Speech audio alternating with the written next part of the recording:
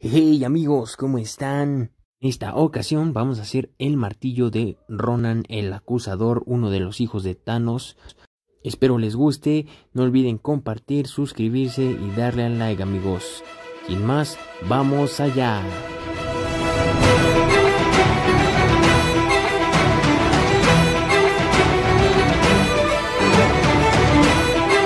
Primero que nada nos vamos a aventar eh, lo que es el plano de nuestro mazo.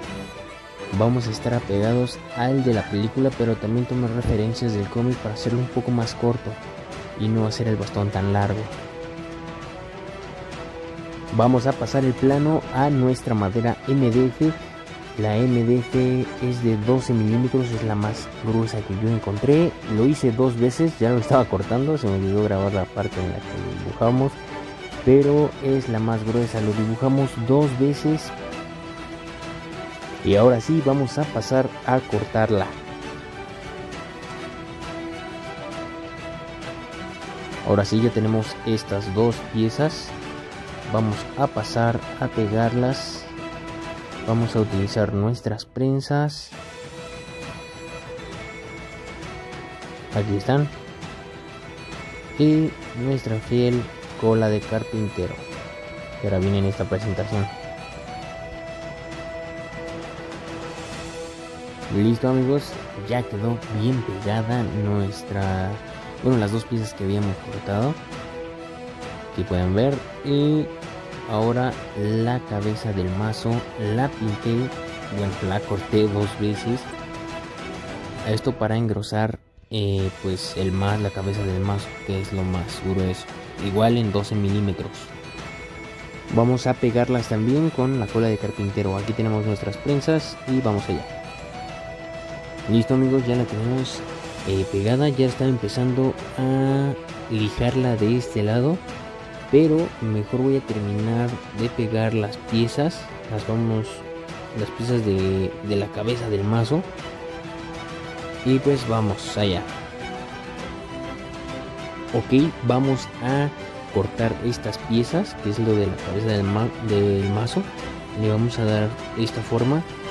Hay que pegarlas hay que pintarlas todas y cortarlas todas en nuestra mdf de 12 milímetros también.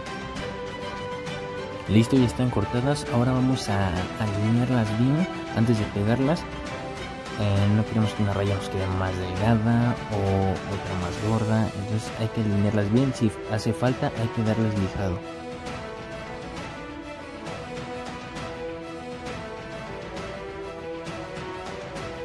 Listo amigos, ya la pegué. Ah, quedó muy bien, ya la tenemos por ambos lados. Ahora hay que empezar con el lijado, hay que alinear bien todos estos bordes. Hay algunas imperfecciones y aquí tenemos esta lijadora que acabo de adquirir. Vamos a, darle con este para poner todo bien alineado. También vamos a lijar de esta parte de abajo eh, quiero hacerle un tipo punta y también aquí para ello me voy a ayudar de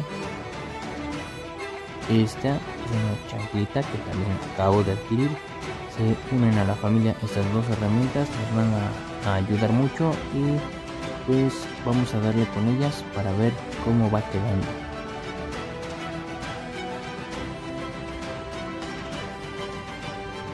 Listo amigos, vamos a proceder a pintarla, ya la dije, ya la redondeé todo. Eh, recuerden que hay que darle una pasada de cola de carpintero por toda, toda la estructura. Me voy a ayudar de un cepillo de dientes, se me ocurrió y pues vamos a ver qué resultado nos da.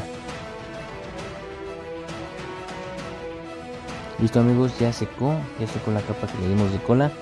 Eh, vamos a pasar a pintarla aquí tengo este gris primario vamos a usar el gris primario para toda la estructura y este morado vamos a usarlo para el círculo para la cruz que queda en la cabeza de nuestro nuestro martillo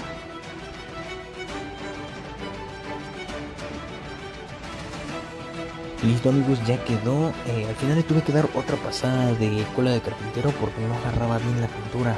Entonces le di dos, dos capas pero al final quedó muy bien, le di también una salpicada de negro para darle un tono más antiguo, más viejo, La verdad me gustó mucho cómo quedó y pues quedó muy pero muy bien. Espero que les haya gustado amigos.